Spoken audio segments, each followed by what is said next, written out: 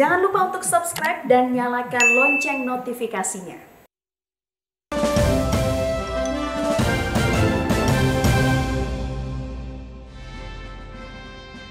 Terima kasih masih bersama kami. Pemirsa bersatu berjuang. Kita pasti menang adalah tema peringatan hari ulang tahun 76 TNI pekan ini dan tak mudah mengemban tugas menjaga kedaulatan Republik Indonesia. Presiden juga menekankan pentingnya penguasaan teknologi tinggi juga kemandirian industri pertahanan di tanah air. Selamat ulang tahun ke-76 Tentara Nasional Indonesia.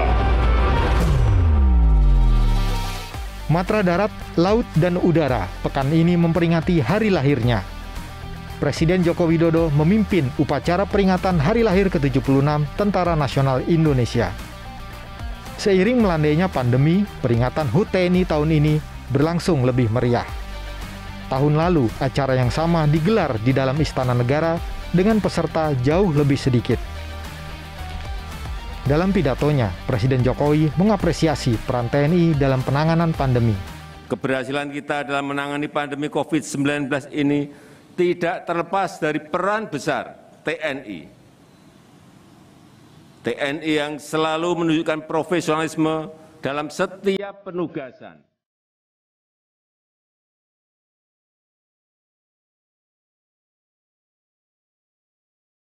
Selain upacara, puncak peringatan HUT ke-76 TNI juga dimeriahkan dengan parade udara. Ada delapan helikopter dari Angkatan Darat, Laut, dan Udara yang mengarak bendera di angkasa. Menyusul 16 pesawat tempur unjuk kebolehan dengan formasi kepala panah dan ledakan bom yang melintas dalam tiga gelombang.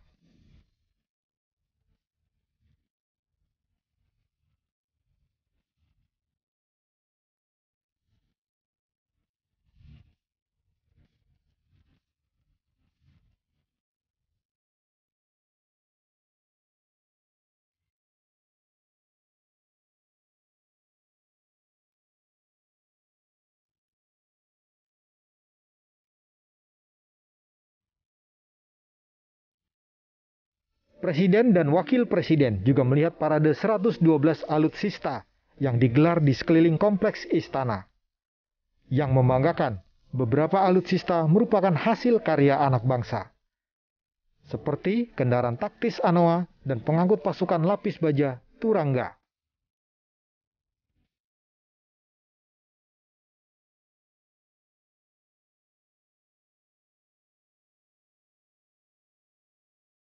Publik, masyarakat bisa uh, tahu bahwa kita misalnya telah memiliki Astros. Astros ini sebanyak 50, 56. Misalnya, ini roketnya bisa meluncur jarak 39 km. Mengharumkan nama Indonesia. Presiden Jokowi juga menyempatkan diri berdialog dengan prajurit yang tengah bertugas menjaga perbatasan hingga menjaga perdamaian. Demikian kami laporkan.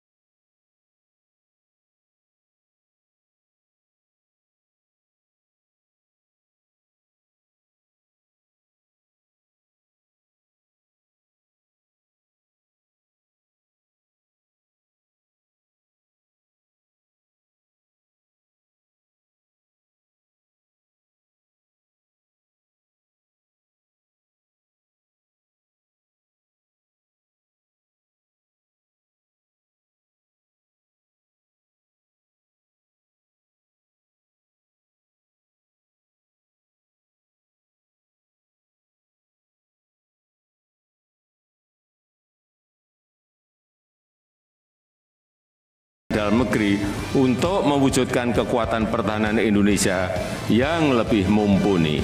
Dirgahayu ke-76 TNI. Salah satu jati diri TNI adalah tentara rakyat. Tentara yang berasal dari rakyat dan berjuang untuk rakyat. Bersatu, berjuang, kita pasti menang.